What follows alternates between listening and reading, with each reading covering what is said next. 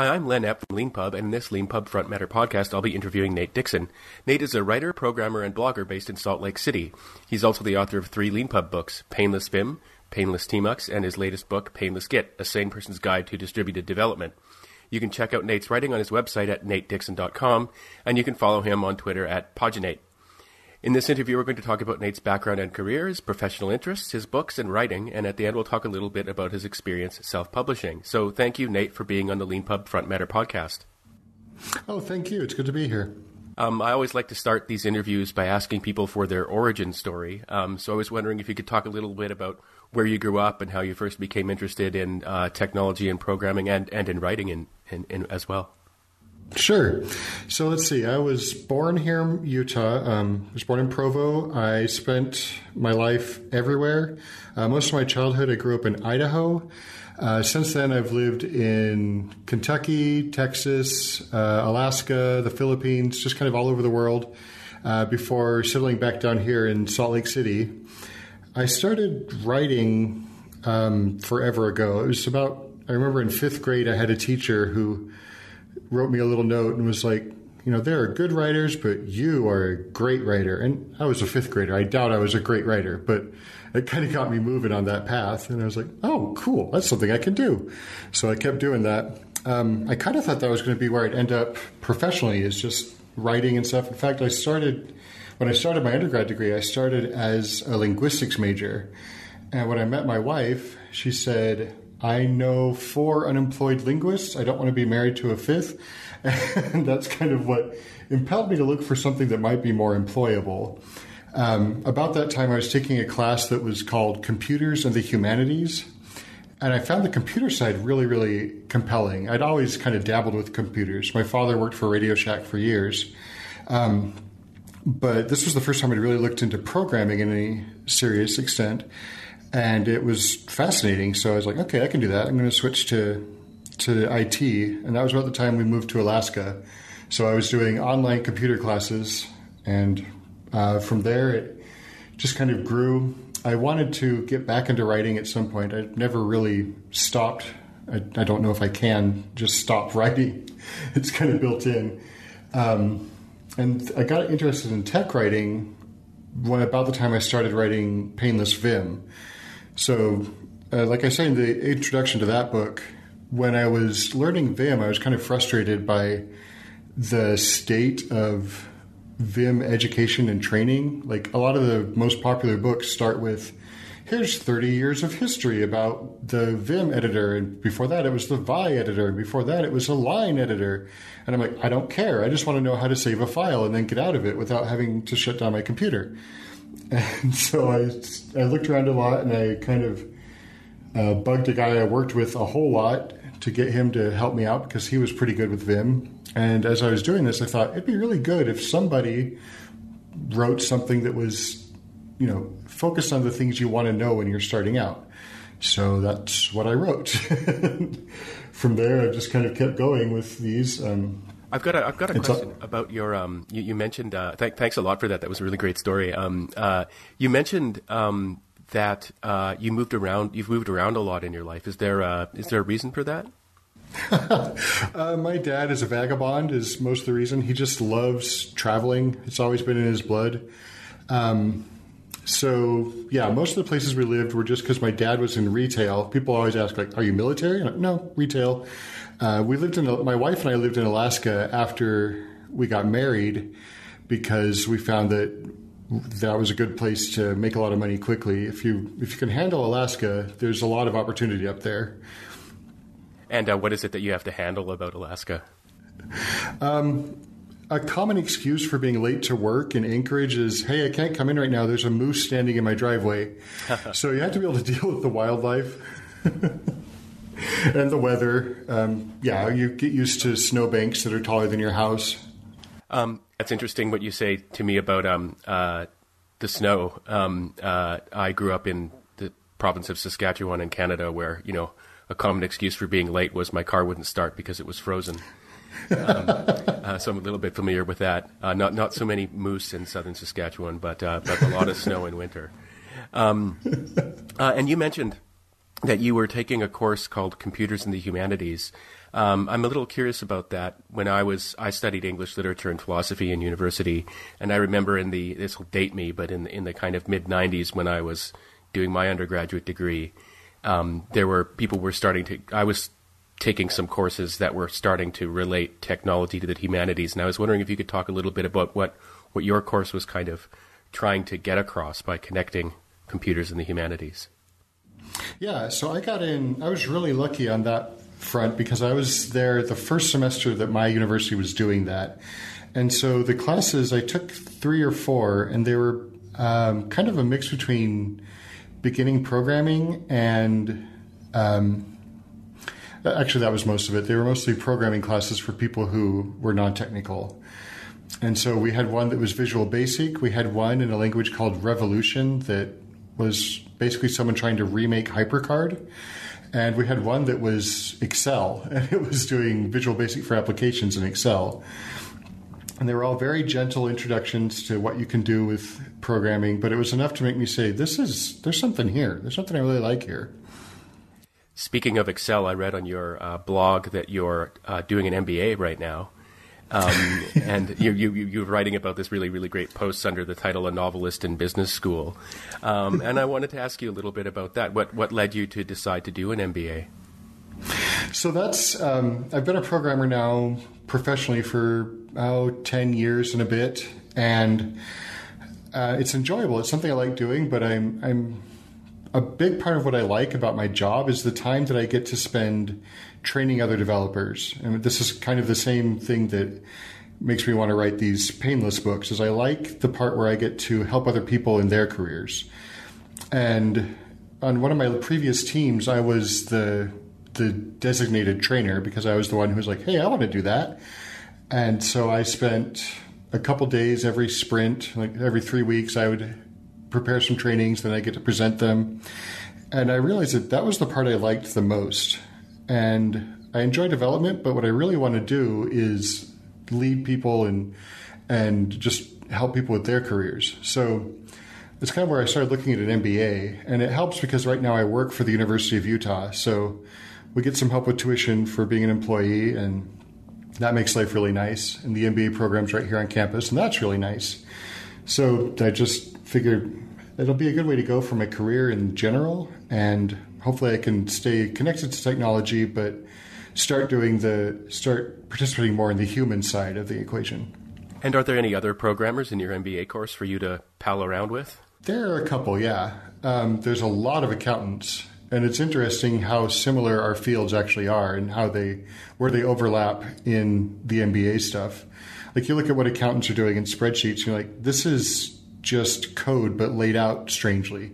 If you just took the logic that you're putting into these Excels in a spreadsheet, I could drop this into a Python file and it would do the same thing. It's just a different way of writing it. Yeah, it's interesting you, you mentioned that um, after I finished my doctorate in English literature, I became an investment banker and, uh, you know, started doing a lot of financial modeling. And it wasn't until I actually joined up with LeanPub, uh, a tech, which is, you know, largely a tech company, and I realized, you know, that what I'd been doing was actually kind of programming um, the skills the skills. Yeah, it really is. I've got a. Yeah, yeah, they definitely can transfer if you just. Yeah, just saying that it, those skills really do transfer if you just kind of open your mind to say, I'm not going to be afraid of, you know, the the blank programming screen. I'm just going to dive in, and the same logic applies. Yeah, and the same uh, one one typo, and the whole thing breaks. Very much that, yes. Um, my next question uh, might be a little bit out of left field, but one of the one of the fun things about this podcast is that I get to talk to people from all over the world and ask them about issues uh, people may have heard of um, about where they're from, but don't normally get to hear a well-informed local talk about. Um, so I've spoken to people in Spain about you know separatist movements and things like that. Um, you mentioned on your website that you're uh, LDS or a member of the Church of Jesus Christ of Latter Day Saints, more popularly known as the Mormon Church, uh, and you mm-hmm. also you also mentioned that you're not a Republican, which makes you an oddball. And I, I, wouldn't I wouldn't be asking you this question if you didn't also say that in the same place that you love to talk to people about everything. Um, so I wanted to ask you um, why Mormons are typically Republicans. so I think where that comes from, I think the intersection there um, is in conservative family values more than anything. Uh, one of the things that the LDS Church definitely emphasizes is the family as the central unit of a society. And for a lot of the history of the American political system, the Republican Party has been more pro family. I don't, now again, I'm not Republican. I don't really agree with most of the Republican platform. I'm also not a Democrat. I'm, I am, I think my political party right now would probably be classified as angry more than anything else. But yeah, I think that's where that comes from is the the emphasis on keeping the family central to society and just traditional family values. Um, I have growing up, even in my church life, I one of my scout leaders actually, when I was growing up, was a called himself a loud and proud Democrat and kept trying to explain to us that you know this, there's nothing sacred about the Republican Party. there's nothing that we should say is like actually part of our faith, and that's one of the things that you know one of the things that Mormons are known for, and that musicals get made about is we send our our missionaries out around the world. And I think that serves a couple of purposes. One is to spread the message, but the other one is you get these, you know, white boys from Utah and Idaho, and you expose them to a completely different part of the world, and a completely different way of thinking, and a completely different way of just interacting with people, and start to realize that you know your little hometown values, not all of them are not all of them spread or not all of them fit around the world. So you have to open your mind and start to see how other people think as well. And um, actually, that, that leads me to my next question. I wanted to ask you uh, where where did you go on your on your mission? That was the two years I spent in the Philippines. So, and that was an amazing experience. Just I love the Philippines, and so I get to watch. It's been 20 years now. It's dating myself, but I get to watch them, you know, go through a lot of things. I'm just like I just I'm just pulling for a country on the other side of the world. I don't know what I can do to help, but I want to. Yeah, I saw I saw on your LinkedIn profile that you speak Tagalog, so I was I was guessing that it was the Philippines that you that you'd been to. Um, I'm, I'm, a little bit curious, yeah. just just not to go on about this forever, but how how how is your place of for your mission selected? So the the way that works is you submit all of your your paperwork, your application to go on a mission, and it all goes to church headquarters. And there is one day a week where the leadership of the church, it's usually the president of the church and his counselors. Um, they've got a room set up with a projector, and it will put up an image of a missionary and their the some information about them, and then they decide uh, and our faith is that they decide based on revelation that this is where this person should go. And so they put that into the computer and it sends it on through the system. I actually worked for the LDS Church for a couple years. I was never directly involved in that system, but I knew some people who were. And it's really interesting just how quickly that moves. And it, it seems to work. Uh, yeah, and what was the work that you did for the church? I, I, have read a little bit about it on your profile and your website, I believe. But if you could talk a little bit about that, I think people would be interested to hear what kind of programming one does for a religious organization. Sure. So the LDS Church has, they say, or we say that we've got four main missions. Our missions are to perfect the saints because we're absolutely not perfect, um, proclaim the gospel, redeem the dead, which is basically doing work for people who weren't able to partake of the gospel in this life and uh, help the I forgot the phrasing now, but it's basically help the impoverished. It's our welfare organization. So each of those four missions has a website and a lot of work that we goes goes into it. So like perfecting the saints, that's basically everything that members of the church would want on the internet. So that's the LDS.org website. And so that's things like easy access to the scriptures and easy access to lessons and all that stuff. Uh, what I worked on a lot of my time at the church was Mormon.org, which is our public, um, not a member of the church facing website. It's more of our, our missionary website. And that's, you know, answers to questions that people have about our faith and things people want to know. Uh, a lot of people know about Family Search, which is our, our genealogy facing website, which is more taking care of getting the whole family of all of humanity put together. And then we've also got a couple of websites that are focused around our welfare efforts. So, like I say, most of my time was spent in the missionary uh, part of the organization. Um, so, I did a lot of things with some of our online teaching programs, like the way that people can chat with missionaries online and the way they can request people to visit or request a copy of the Bible or the Book of Mormon or whatever they like. And that was all stuff that I was working on while I was there. Uh, and and has has the church embraced social media? I mean, pardon me for being so ignorant, but is is the church's so, social media presence as well?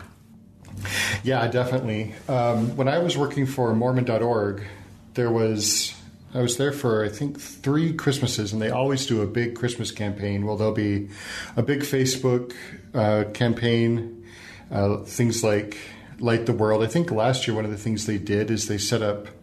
That was after I not working there anymore. But what I saw was they set up like vending machines where you can buy, say, a chicken for somebody in a country that in a third world country, someone that could use some help. And so all it is is like you put in some money and it drops a card, and then we say, okay, we're going to donate that money to a relief effort in whatever country you assigned. Um, we generally they'll generally do a big like Instagram campaign around the same time. Usually another one around Easter, and a lot of Facebook. When I was working there, we were just starting to look at Facebook and Twitter integration and seeing what we could do with that. Um, but yeah, they definitely are interested in just any way that people can bump into the message, like without having to have someone come knock on your door, is is a good thing.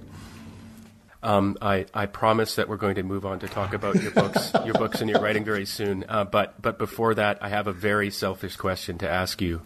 Um, uh-huh. You wrote a post about finishing Breath of the Wild, um, the video game, and you had a somewhat similar experience to mine. I think around the same time in in June where you kind of wandered in to fight the boss uh, accidentally, um, and then regretted having finished the game. Uh, yep. And I wanted to ask you what it was about because I, I actually hadn't played video games for years, and then found myself like I couldn't wait until you know the time in the evening when I could have a glass of wine and you know go to the Hyrule Kingdom. uh, and it was when I just wanted to ask you since there was this very specific kind of connection. What was it about that game that that you liked so much? Um, to me, Breath of the Wild was such an art piece. There was so much. It was so integrated between the very minimalist sound design and the the very plain air, very clean art design that was it was sparse and yet it was not unpopulated. And it it was very engaging. It was very easy to get drawn into a world where you could feel connected to it. Like that's kind of the feeling i got is i liked going to Hateno village and i liked running around. I loved just jumping off a cliff and popping open my parasail and just going anywhere. It's kind of the reason I, I was never very good with horses in that game because I'd be riding a horse for a while and then I'd see a cliff that looked interesting and I'd just go, bye horse, and I'd go jump off a cliff and go somewhere else. Um, but I think uh, it's just so well integrated. Just every part of it fits so nicely with everything else and it felt so organic. Um, I played a lot of that on the train to and from work. I've, we've got a local, it's called TRAX, our local um, light rail here in Salt Lake. And that was the one thing that kind of screwed me up is in some of the shrines they have motion controls. And I can just tell you that motion control things on a moving train don't work so well. I had a couple shrines where I'm trying to get this ball through a maze, and because of the way the train's moving, the maze is now upside down. And I just, yeah, okay, I'll do that later. Yeah, it's funny. It's funny you say that. Um, when I, I've, I've, actually never played it on the, the Switch device itself that I have. I, have only ever played it on the, like on the in docking the machine and on the big big screen TV. Uh, but when I started playing it, I was getting used to the way on the Switch you can like detach the little controllers and hold one in each of your hands, and mm-hmm. I loved that. But it was really really hard to use things like magnesis and I thought because everything was jumping around, and I thought, well, that's you know that that does make it more challenging, but you know that's that's a pretty arbitrary way to make the game harder. uh, and then I realized it it thought that like because I, the, the the controls weren't connected to the device, it thought I was like twisting it, and like the, the device was stretching oh. up and down and stuff like that. Uh, and so when I when I finally realized what was going on, I was like, oh, now I could actually use these things and shoot arrows. But in any case, thanks for that. Thanks for that great description of what's so compelling um, about that game. Um, I, I, think I enjoyed a lot of a lot of those uh, same aspects myself. Um, uh, I guess segueing from there, uh, one thing you write about with with respect to your writing is that you enjoy interactive fiction. Yeah, which is, which is, a lot like games. And I was wondering if you could talk a little bit about what, what interactive fiction is and, and why you like it. Oh yeah, absolutely. So interactive fiction, a lot of people call it text adventures. That's kind of the name it has from clear back in the 80s when these games first started coming out. And so, um, if anybody, if people know nothing about interactive fiction except for one word, the word they'll know is Zork, which was an Infogrames. That's not what they're called. Infocom, an Infocom game from like clear back in the 80s. And it's your typical go into a dungeon, get the treasure, get back out. Um, but it didn't end there, and that's the part that interests me. Interests me is that people are still making new and very innovative interactive fiction these days. They're doing a lot of things with just words, and there's an amazing amount you can do. There's an amazing amount that you can portray. Like I am not a good artist, but I can I can spend time writing and start to get an image across to somebody through words. So if I want to make a game, and occasionally I might uh, this is a way I can do it. Um, the language that I found when I was first looking into interactive fiction is called Inform. They're currently on version 7, and um, as you might expect from an interactive fiction language, it's not moving all that quickly. But version 7 is really fascinating to me. One of the reasons I like it, and one of the things that first got me interested in it, is the fact that in Inform, every statement you make is also a valid English sentence. So it's a programming language that is a subset of the English language.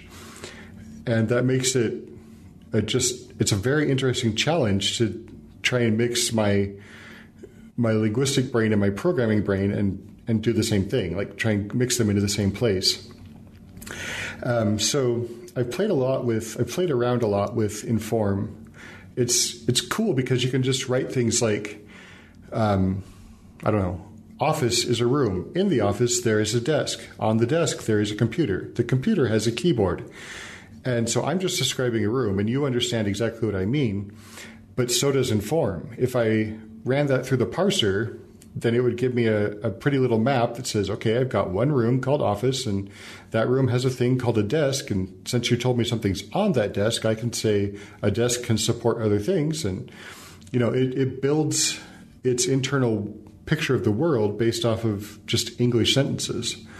So, just to challenge myself once with Inform, I thought I would try and um, make a, a very small, simplified version of the game Portal. And so, you know, in Portal, you've got a gun that you can shoot a portal on one wall and a portal on a different wall, and then you can move between those two portals. So you can have like one on uh, clear across a chasm and one right behind you, and just walk through those and you've crossed the chasm without getting over it. I was like, well, can I do this in text? Can I do this without images? And I spent, oh, probably 40 hours working on this pointless little tech demo. And yeah, you can. You can totally do it with just text. Yeah, that sounds really fascinating. Trying to uh, to do something like Portal uh, in text. Uh, what a great project. Um, uh, moving on to your your books, uh, one of the reasons I was looking forward to interviewing you is that one of the the themes of this podcast, since so many Leanpub authors are programmers, is that people can can use these interviews to learn about um, the way everything in our world is being built now, because everything is being built uh, with software. Um, and so, because of the nature of your book or the sub- subjects of your books, I get to ask you um, to explain the tools that, that programmers are using. Um, and so, I was wondering, you, you talked a little bit about it before, but could you explain a little bit about what, what Vim is and, and how programmers use it in their work? Yeah, absolutely. So Vim is a text editor, which for a lot of new programmers, you would basically define as a, a minimalist or a, stripped down integrated development environment. So it's just you and text. And what makes Vim both difficult to learn and very powerful is that for most of the time when you're in Vim, if you press a, a button on the keyboard, it doesn't put that letter on the screen. It that letter, that button is doing something else. So, for example, the the famous or the most popular four keys for a Vim programmer are H, J, K, and L because those move you up, left, right, and down, respectively. And so when you're working in Vim, what it's all about is making you faster. But to do that, you've got to learn a whole different way to work. So, like if I want to go from line to line, I'll press J or K to move up and down um, to the line I want to be on, and then I can go into what Vim calls edit mode, which is where when you press a key on the keyboard, it actually puts that letter on the screen. So, for a lot of people, they're like, why would you mess with this? Why would you waste your time doing that? And the answer is that the people who've been working on Vim have spent decades now being professional programmers and knowing what sort of things you want to do really quickly as a programmer.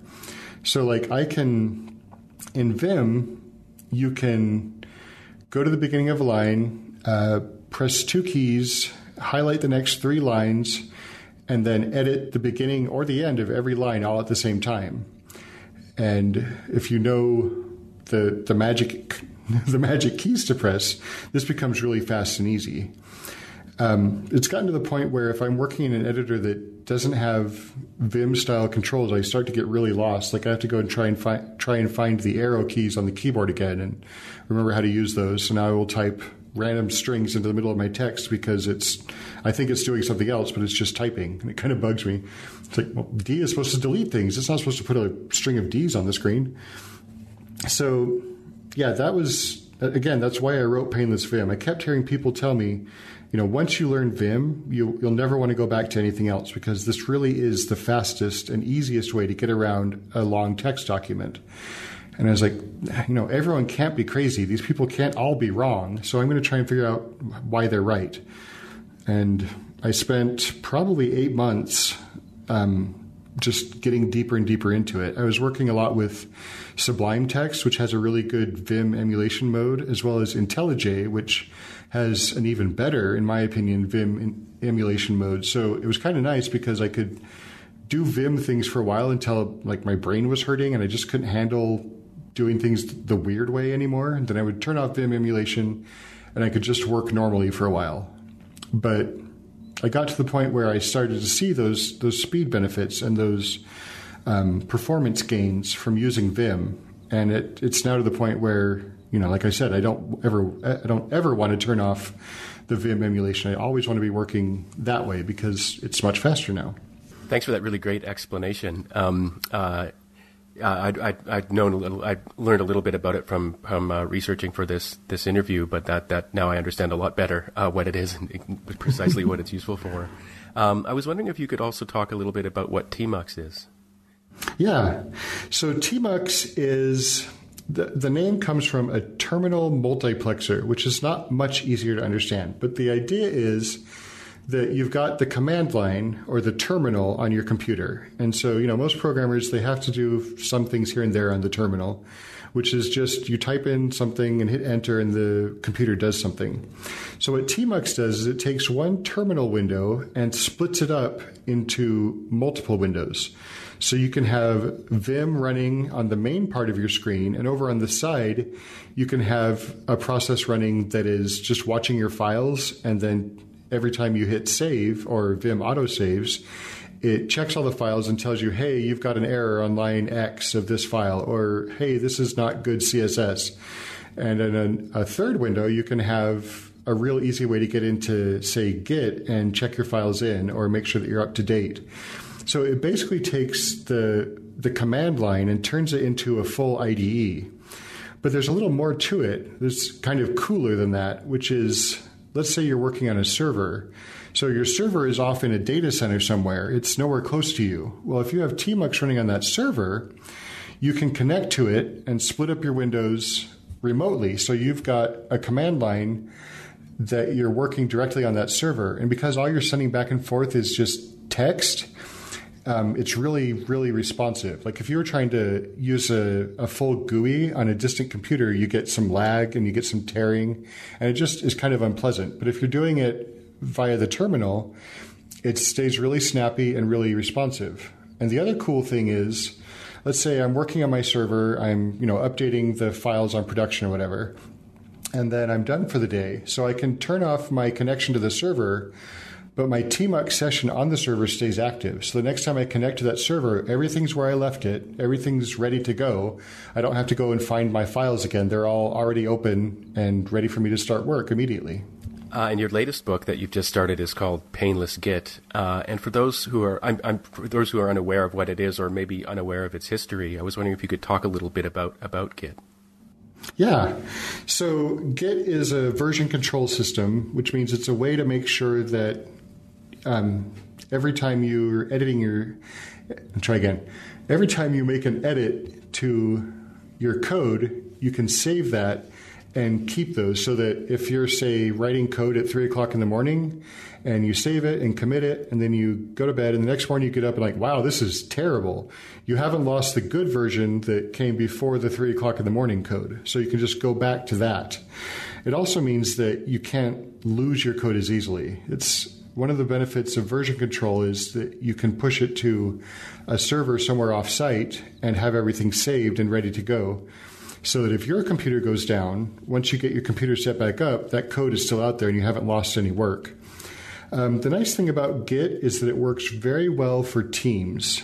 Uh, and I haven't quite gotten into that in my book yet. That's one of the chapters I'm working on. But um, Git, instead of having like one central server that is the source of all truth for the entire team, treats every machine that has a copy of that code as the source of truth. So if there was a catastrophe and your if Bitbucket or GitHub went down, um, you could rebuild everything from any individual developer's machine, and you would have nothing would be lost.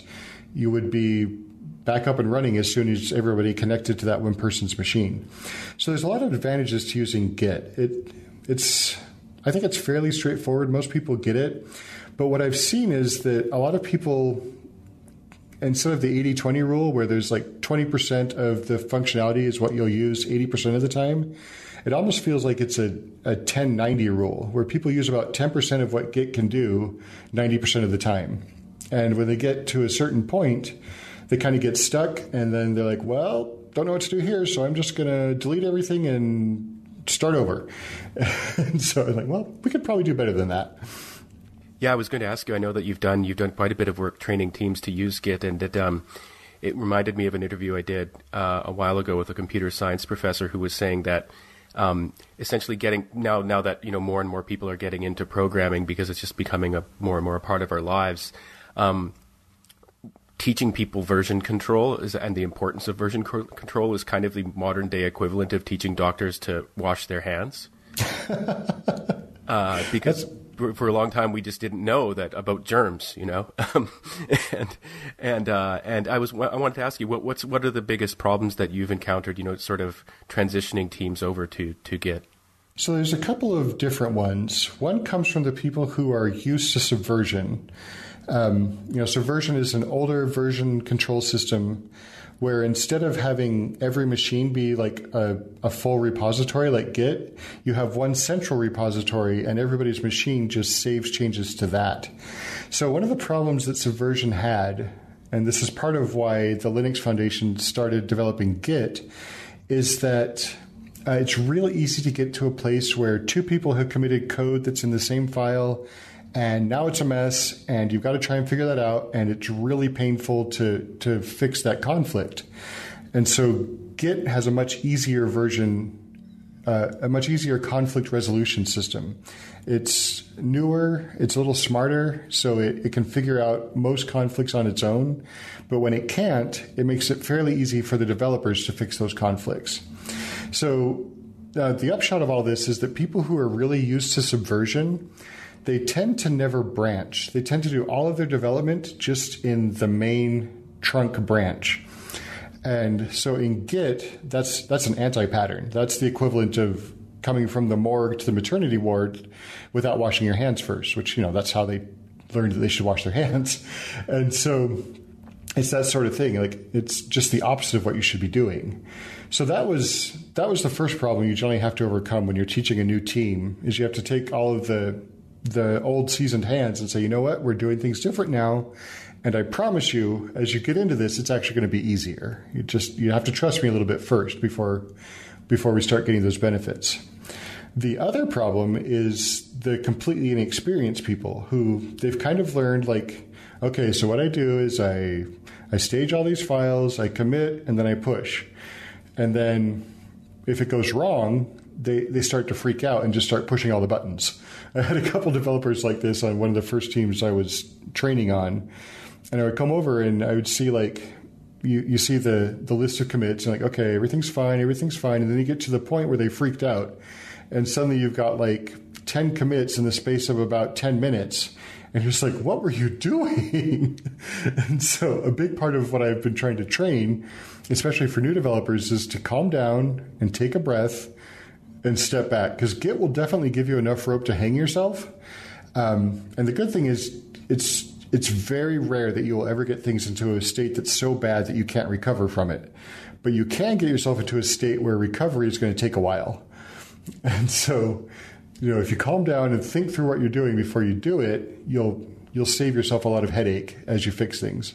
Yeah, um, I, I that no, thanks for that great explanation. Um, it, it's useful for me partly because I, I don't do a lot of programming, um, but uh, when I started learning programming, it was all it was all Git, um, and uh, so that I didn't know I don't know anything else. Um, but one of the things that took me a while to wrap my head around, and then I finally really liked about it was the was the the idea of branching.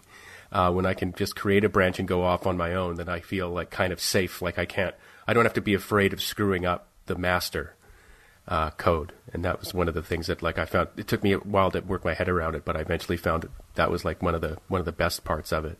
Yeah, yeah. That's something I tell people a lot is that branches are cheap. They they don't take up much space. They don't cause any real problems. You can create as many branches as you want and branch from a branch, and then delete them as whenever you want. It's you know, the more you branch, the safer you are, and the easier things are going to work down the road. Um, moving on from the subject of your books to uh, maybe the process by which you wrote them, um, your current book is is five percent done. Excuse me. Uh, so I know that you do write books uh, in progress, um, uh, and and I know that you directly solicit feedback from readers. And I wanted to ask you a little bit about that. What, what's that experience been like? It has been absolutely incredible. I have amazing readers so when I first put Painless Git up, um, I sent out a coupon to all of my readers of Painless Vim and Painless Tmux and said, you know, I'd really love to have your feedback on this one. And almost immediately, uh, someone who had read Painless Vim wrote me and said, hey, the stuff you did in Painless Vim is the reason I'm still using Vim. And do you want feedback? And I said, yes, yes, yes, very much, yes, please, yes. And an hour later, I had an email from him. He's like, I've read what you've written so far, and I was following through, and it's mostly good, but here's the thing that happened that you might not have noticed. And he sent me like a screenshot of what had happened on his system. He's like, You might want to talk about that. And it's like, You're absolutely right. I should talk about that.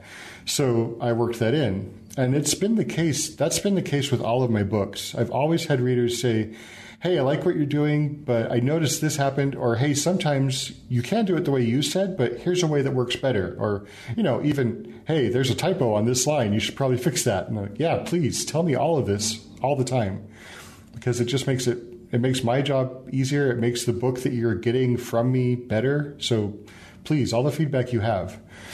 Thanks for that. Yeah, that's that's that's really we we really love hearing uh, those those kinds of stories at LeanPub. Um, uh, one thing I noticed about your books is that they have great covers. Um, that's something that I think all all self published authors aspire to. And I just wanted to ask you a little bit if you have any advice about about how to go about making great covers for your books. Thank you for saying that. That feels so good. So, um, my uh, my philosophy behind my cover and you know I've I've kind of just been copying myself since the first one. But what I wanted was that feeling of of painlessness that I was trying to get across. So to me, that meant the cover should be open and uncluttered, and you know fairly simple. Um, the images I choose, I, am not an artist, like I said, so all of the images I choose, I I buy the I buy the rights to off of uh, stock image sites. Um, you know, I make sure that I got the EPUB rights, and um, but I like the. For me, I really wanted that theme of this isn't going to cause you stress. I'm not going to call you. I'm not going to talk down to you. It's just going to be easy. Um, and part of what I liked about doing the cover design was doing the font design. And again, I, I just I bought fonts. I'm not a font designer either, but I I like good typography and I like good layout.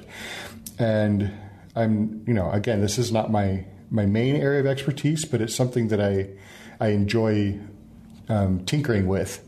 So there's there's three fonts just on the cover of all of my books, just so they could have the byline look different from the the subject line and have that different from the title, but still have them feel unified. And all you know, like I said, most of the design work went into Painless Vim, and I kind of mentioned when I sent out my "Hey, I'm doing Painless Git" email that that all kind of came together on a Saturday morning in my pajamas because I was like, I really think I can do this. And so I spent four or five hours just looking at fonts, and just looking at what would go well together, and you know, grabbing samples and and just screenshotting samples before I bought any fonts and throwing them into a Photoshop document to see what they looked like together. Um, and I think you know, there's a lot of different. There's a lot of very good cover designs in the world, and mine is one specific style that works for what I'm doing. But um, it feels like we're in a time and a place where minimalism goes a long way. Like staying fairly simple and fairly clean, I think is very appealing to people in a world that's often very saturated and often very busy.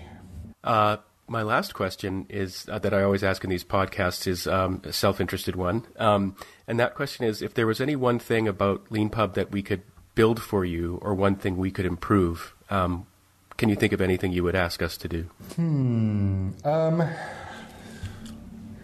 so one thing that would be good and again, this is a very selfish answer.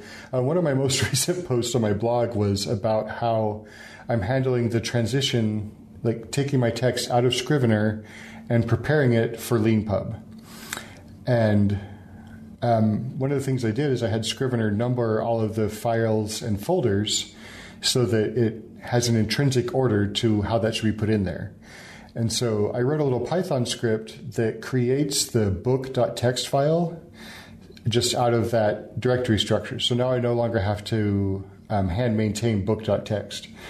So it'd be great for me if there was a way to just take a a list of numbered files and folders and just say, okay, read the numbers, and that's the order I want the book in. And you know, I can see both sides of the argument here. Like when I was writing Painless Vim, I would often write most of a chapter before I wanted to include it in the book. But what I've kind of learned is that, um, you know, I don't need that pride. Like, it's okay for me to put half finished chapters in the book because that's how I get a lot of feedback from my readers. Is they tell me, you know, you're working on this. Here's something you can do that will make it work better.